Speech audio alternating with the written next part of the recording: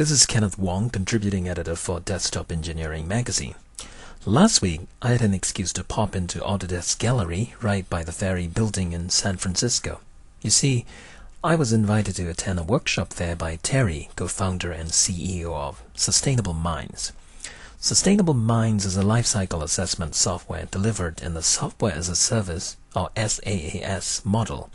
No installation, just sign up for an account, then begin using it online from a browser. What does it do? For a start, it measures the environmental impact of your product or project using something called the Ocala method. We'll talk more about that later, but first, let's see what we can do with the software. First, you set up a project to get a better understanding of perhaps a product already in existence. After all, you cannot improve on something unless you have fully studied it. So I'll set up a project for grab and go toaster for an imaginary food happy industry owned and run by my toasty family. I'll put a few words in about the project scopes, then upload a photo or an image of the product. Then we come to something called functional unit. It's a bit difficult to grasp, for me at the very least, because this input field depends on your product or your goal, and this might have something entirely different for you. But for this one, let's just leave it at the default, to be measured as one hour of a use. At this point, you're ready to study your first concept, which is usually your reference concept. Let's think of it this way. It's not immediately clear if a car that pumps out 2 tons of carbon for each mile is good or bad, unless you compare it to another one that runs just as smooth but produces only 0.25 or less carbon.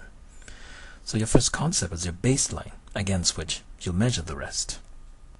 Now once again, we have to deal with a functional unit. I need to enter the total amount of service delivered by my product.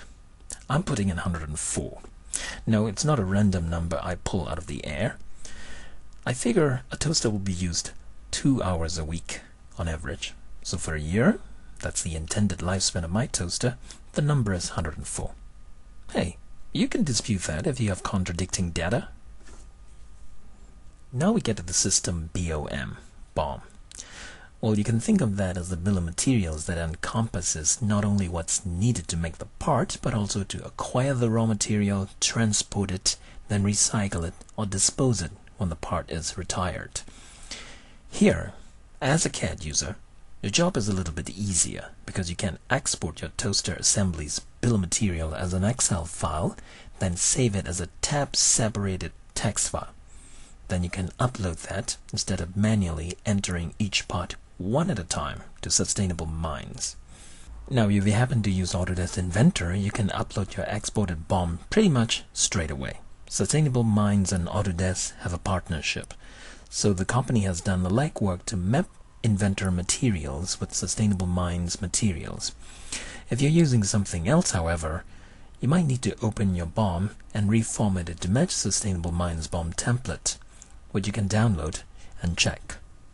In some cases, the software found multiple matches, so you might need to fix that. In other cases, it couldn't find a match for your material, so you'll have to manually edit that and pick a material from Sustainable Minds database.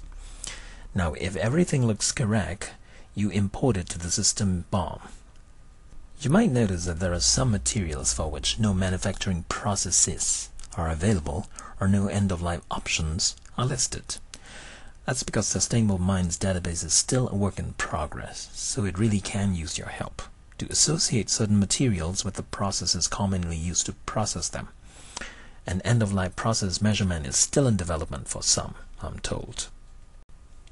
Okay, at this point I'm ready to check the scorecard of my reference concept. So let's see. Now just from this total impact wheel, I can tell one of the biggest contributors to my product's impact is ecotoxicity. So I checked this for tips on how to reduce it.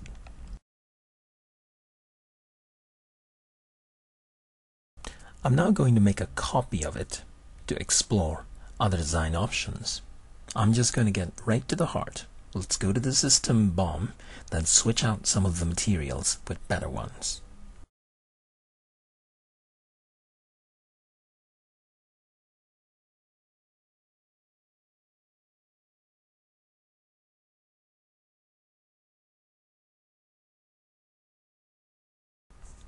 Looking at the comparative scorecards, I now realize I've just dropped the Ocala point by one point. A small victory, you might say. Now watch what happens when I switch the end-of-life method from disposal at a landfill or an incinerator to recycling program. See the dramatic results?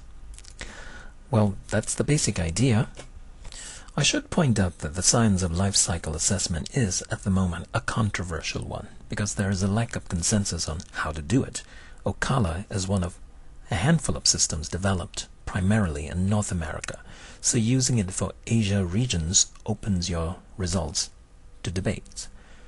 Ideally, I wish Sustainable Minds is directly linked to a 3D modeling system, so every time I change the extrusion height of a handle or the radius of a hole, I can immediately see its impact. Since I'll be in an environment where I can perform stress tests, if I switch material, I can also make sure that my eco-friendly material won't compromise my model's strength. Another feature I'd love to see is perhaps the ability to export the results as PDF or HTML files so I can share it with others or archive it. At the present time, there is no standard taxonomy for materials, as Sustainable Minds CEO Terry puts it. And that makes it a huge challenge to incorporate these automatic carbon tallying formulas and algorithms into a CAD system. For another product in this field, please check out my coverage of SOLIDWORKS Sustainability Express.